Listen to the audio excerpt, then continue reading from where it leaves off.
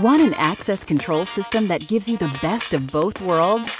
Try Honeywell's Net Access, a unique hybrid access control panel that lets you program and manage your system through an integrated web browser or PC based software.